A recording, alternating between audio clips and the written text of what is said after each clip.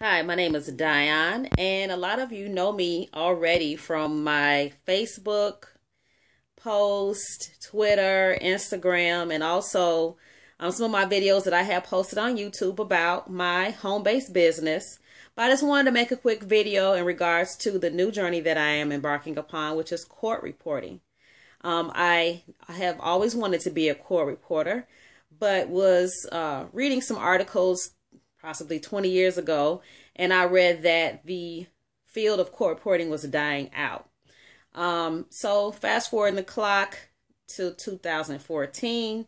Um, my children were on their way off to college. I already had one who was going into his second year of college, and my young, youngest son was entering his first year of college, and I was having something like an empty nest syndrome.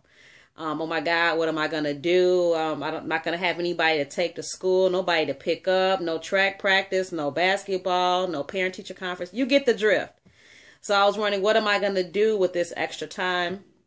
I wanted to do something a little bit different. Um, I still have my home based business, but because my children were both leaving to college, I didn't have to have all that extra time at home for them. Um, so um, I had mentioned to my mother a couple of times, what am I going to do? And it just so happened that the Sunday paper came and this article was in it, which is Keys to Success. This article was in the Chicago Sun-Times. Um, I don't November 9th, actually, which my birthday is November the 8th. So it was my birthday weekend. Um, is the article is about court reporters and how much they are in demand, the amount of money they can make, and it happened to mention um, one of the oldest court reporting schools um, that is happened to be located in Chicago. Um, so I immediately called the school within that week or so, talked to an admissions advisor, and um, here we are today. It's January 24th. I'm enrolled into the program, um, going into my third week now. Um, I love it. But here's the thing I just wanted to create some videos for myself, my classmates, and other court reporters around the globe that might be interested in looking for accountability partners or needing assistance with um, drills. Obviously, I'm a student, I'm just starting out. I don't know, let's say anything, okay, um, as far as um, I can type some sentences in these first few weeks. But what I would like to do is be able to help others who are just starting out, just like me. Because you come to YouTube to find out different things. And when you look up something in regards to court reporting, you find people who are already dictating uh, 20, 30, 60, 80 words per minute. But somebody like me, I'm on letters S T R P B. So um, I want to create these videos for not just myself, my classmates, and other people um, across the United States who are looking to go into the field who need some assistance with practice. Um, for those of you who don't know, court reporters are very high in demand.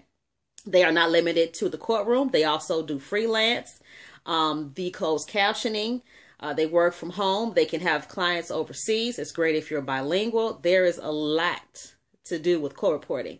There's only like a 30 something percent graduation rate, but for the top court reporters, usually uh, 95, 97% to 100% um, placement rate upon graduation. So people are looking for court reporters. Um, pre- pretty much, you just have to type 30 words per minute.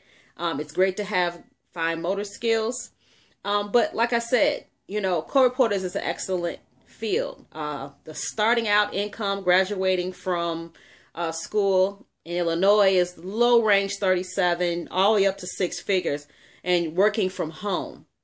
So that's awesome. So pretty much just want to make this quick video. Uh, sorry, I'm talking really fast.